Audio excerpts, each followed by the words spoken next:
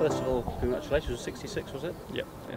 It's uh, it was quite a round, I think. Uh, we ended five birdies in a row at one point. Is that right? Yeah, it was a good way to start the round off. Yeah, everything everything was going in the right place, and I made a couple of nice long putts. So it was a good way to start the round, and it was. You know, it gets you in a good position so you can kind of cruise from there. I was still trying to make more birdies, but it was just, yeah, really the first five holes made it. Have you done that many times before in your career? I, I wouldn't. I can't remember. I was first time I can remember doing in the tournament, so pretty happy. The uh, the course seems, if you go into the rough, pretty punishing. Very Uh, punishing. Yeah, I found it a few times, but um, it's yeah, it's good incentive to hit the ball straight. The, otherwise, you're going to be struggling to keep a score going. But yeah, today I managed to you know, hold in there, yeah, find a few more fairways than I normally do, and give myself plenty of chances. Uh, first time, first time in the practice round.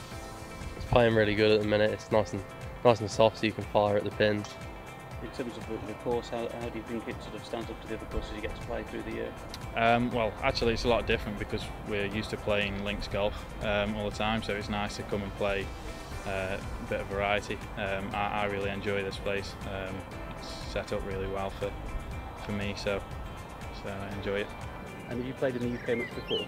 Uh, last couple of years I've come over for the um, the St Andrews Links Trophy in the British Amateur, so it's the first time I've kind of stayed on after that and played the extra couple of events because I've got Open qualifying next week. So I thought this, yeah, it was very nice to be able to play in this event this week and get the get the swing going. And uh, what have you made of the Brabazon so far as, as an event? Oh, it's been great. Yeah, everything about it's been very professional and, and the course has been outstanding. So it'd be nice the next three days be able to play some more good golf. Great.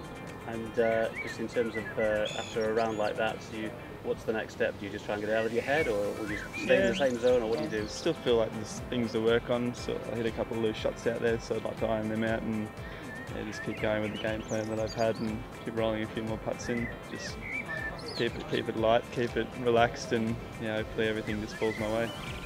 Well, congratulations again. Thank you. All for the rest of the week.